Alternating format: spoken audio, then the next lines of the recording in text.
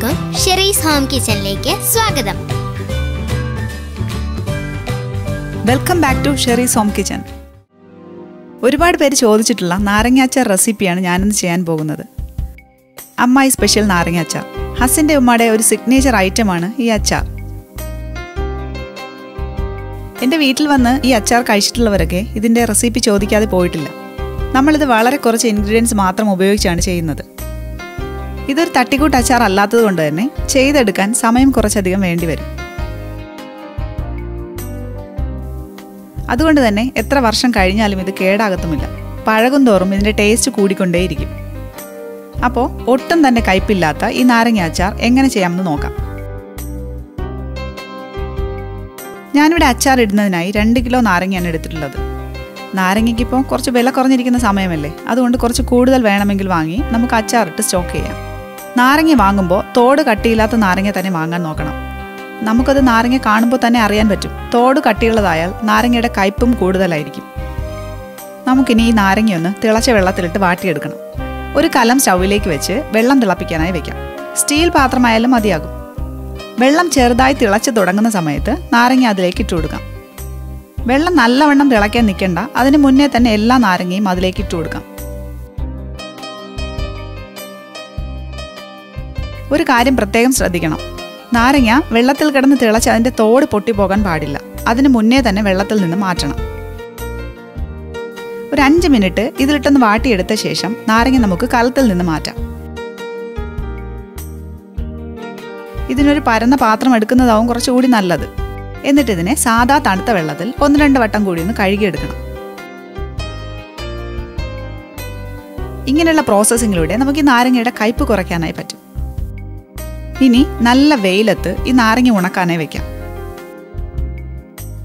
ഇടയ്ക്ക് ഇതൊന്ന് തിരിച്ചു മറിച്ചുമൊക്കെ ഇട്ട് കൊടുക്കണം.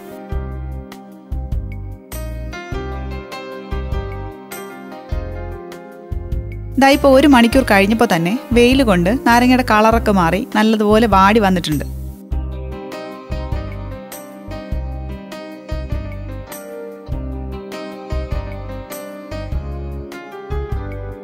അങ്ങനെ നമ്മുടെ നാരങ്ങ നല്ലതുപോലെ ഉണങ്ങി കിട്ടിയിട്ടുണ്ട്.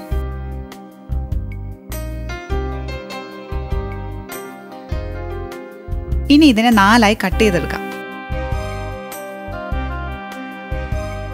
വലിയ നാരങ്ങയാണെങ്കിൽ അഞ്ചാറ് പീസൊക്കെ ആയി കട്ട് ചെയ്തെടുക്കാം.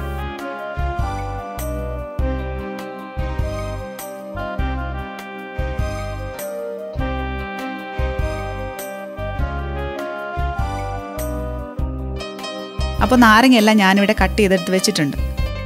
ഇനി കുറച്ച് പച്ചമുളക് കൂടി വേണം.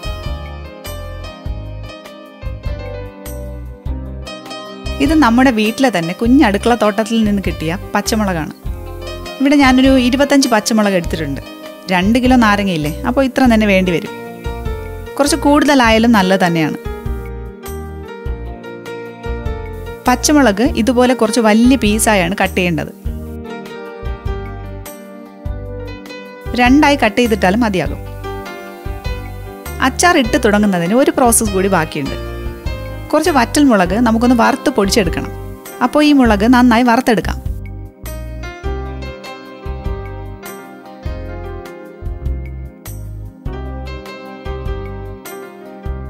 ഇത് അര കിലോ വറ്റൽ മുളകാണ് ഞാൻ എടുത്തിരിക്കുന്നത്. ഇപ്പോൾ മുളകൊക്കെ നന്നായി മൂത്ത് വന്നിട്ടുണ്ട്. ഇനി ഇതിനെ ഒന്ന് പൊടിച്ചെടുക്കാം. മുളക് പൊടിക്കാൻ എടുക്കുന്ന ജാർ ഒട്ടും തന്നെ ഈർപ്പമില്ലാതെ തന്നെ എടുക്കണം. ഇതിന് കുറേശ്ശെയായി പൊടിച്ചെടുക്കാം.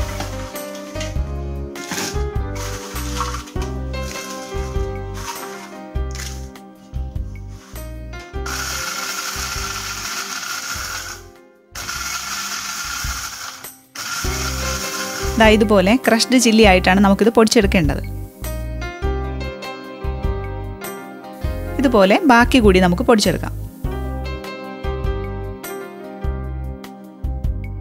ഞാനിവിടെ നാരങ്ങ അച്ചാർ ഇടുന്നതിന് വേണ്ട ഇൻഗ്രീഡിയൻസ് എല്ലാം എടുത്തു വെച്ചിട്ടുണ്ട്. എപ്പോഴും ആവശ്യമുള്ള സാധനങ്ങളെല്ലാം എടുത്തു വെച്ച ശേഷം മാത്രം അച്ചാർ ഇടാൻ തുടങ്ങുന്നതാകും നല്ലത്.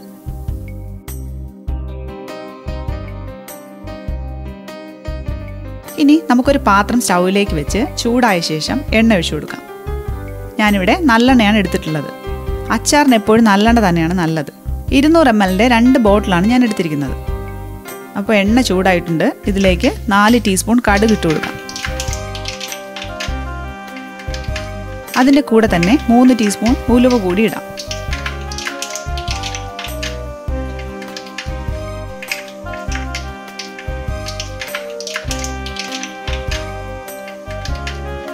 കടുക് പൊട്ടിയ ശേഷം നമ്മൾ കട്ട് ചെയ്ത് വെച്ചിരിക്കുന്ന പച്ചമുളക് ഇതിലേക്ക് ചേർക്കാം.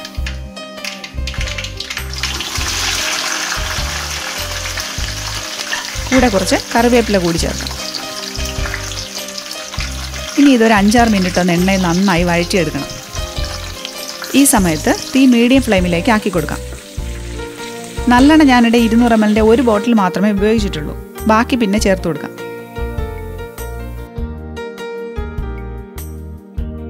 ഇപ്പോൾ ഇവിടെ പച്ചമുളക് എണ്ണയിൽ നന്നായി വഴന്ന് ഒരു വെള്ള കളറിലേക്ക് ആയിട്ടുണ്ട്. ഇനി നമുക്കിതിലേക്ക് നാരങ്ങ ചേർത്ത് കൊടുക്കാം.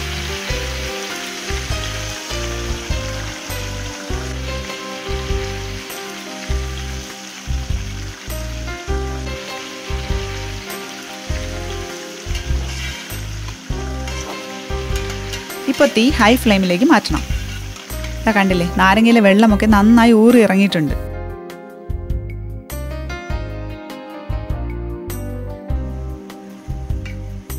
ഇത് കുറച്ച് നേരം ഇങ്ങനെ തിളപ്പിച്ച് വറ്റിച്ച ശേഷം ഇതിലേക്ക് ഉപ്പ് ചേർക്കാം.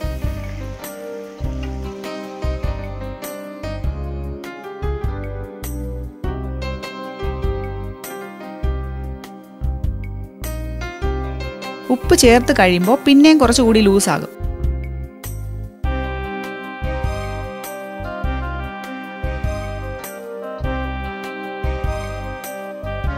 ഇനി ഇത് കുറച്ച് സമയം കൂടി ഒന്ന് വറ്റിച്ചെടുക്കണം. ഏകദേശം ഒരു പതിനഞ്ച് മിനിറ്റോളം നമുക്കിതിങ്ങനെ വറ്റിച്ചെടുക്കേണ്ടി വരും.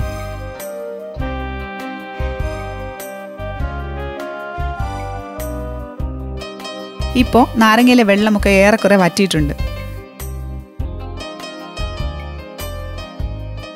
നമുക്കിതിലേക്ക് പൊടിച്ചു വെച്ച വറ്റൽ മുളക് ചേർത്ത് കൊടുക്കാം.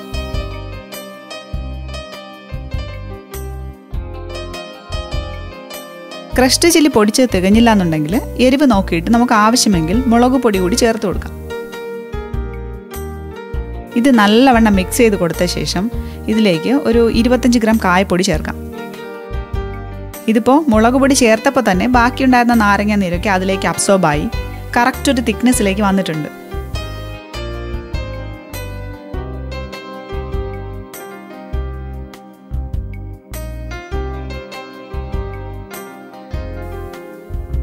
ഇനി ഇതിലേക്ക് രണ്ട് ടീസ്പൂൺ ഉലുവ പൊടിച്ചത് കൂടി ചേർത്ത് കൊടുക്കണം.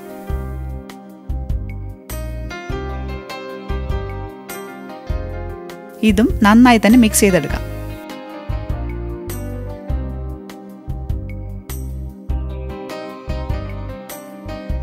ഈ സമയത്ത് ബാക്കിയുള്ള നല്ലെണ്ണ കൂടി ഇതിലേക്ക് ചേർക്കാം.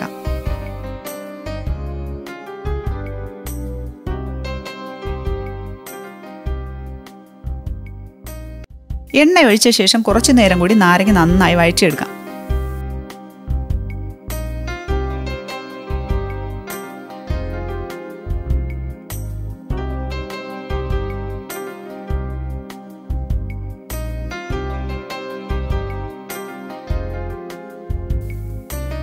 ഉപ്പ് നോക്കിയിട്ട് ആവശ്യമെങ്കിൽ നമുക്ക് കുറച്ചുകൂടി ചേർക്കാം.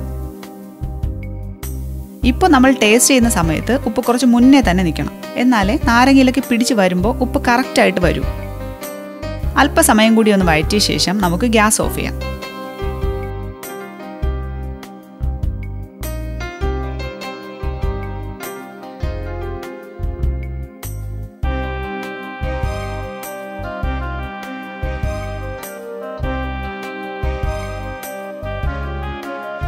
അപ്പൊ നിങ്ങൾക്ക് ഈ ചാനൽ ഇഷ്ടമെങ്കിൽ ലൈക്ക് ചെയ്യാനും ഷെയർ ചെയ്യാനും സബ്സ്ക്രൈബ് ചെയ്യാനും മറക്കല്ലേ?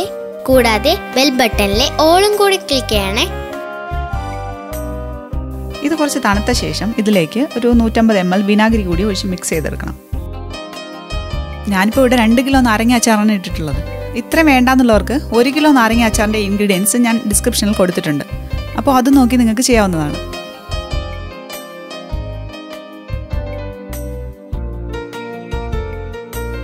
അപ്പോൾ ഇതാണ് എന്റെ അമ്മായി സ്പെഷ്യൽ നാരങ്ങ അച്ചാർ.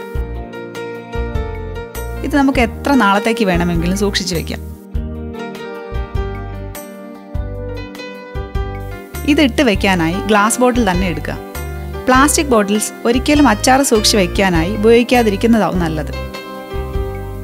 ഈർപ്പം ഒട്ടുമില്ലാത്ത നല്ല ഡ്രൈ ബോട്ടിൽസ് തന്നെ എടുക്കാനും ശ്രദ്ധിക്കുക. എല്ലാവരും ഇതൊന്ന് ട്രൈ ചെയ്ത് നോക്കാൻ മറക്കണ്ട. തീർച്ചയായും ഇഷ്ടമാകും. വീഡിയോ ഇഷ്ടമായാൽ ലൈക്ക് ചെയ്യാനും സബ്സ്ക്രൈബ് ചെയ്യാനും മറക്കരുത്. പിന്നെ നിങ്ങളുടെ ഫീഡ്ബാക്ക്സ് കൂടി ദയവായി എന്നെ അറിയിക്കുക. എന്റെ ചാനൽ ആദ്യമായിട്ടാണ് കാണുന്നതെങ്കിൽ സബ്സ്ക്രൈബ് ചെയ്യാൻ കൂടി ദയവായി മറക്കരുത്. അപ്പോൾ മറ്റൊരു അടിപൊളി വീഡിയോയുമായി പിന്നെ കാണാം. സാമൂഹ്യകാലം പാലിക്കാനും കൈകൾ സോപ്പിട്ട് കഴുകാനും മാസ്ക് ധരിക്കാനും മറക്കല്ലേ? Stay home, stay healthy.